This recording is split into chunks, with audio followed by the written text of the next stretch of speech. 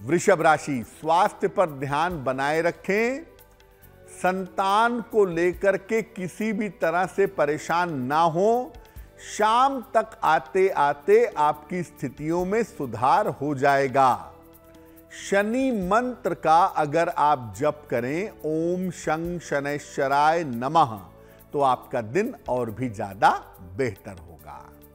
शुभ रंग होगा सफ़ेद और भाग्य का मीटर आपको नंबर दे रहा है पैंसठ प्रतिशत।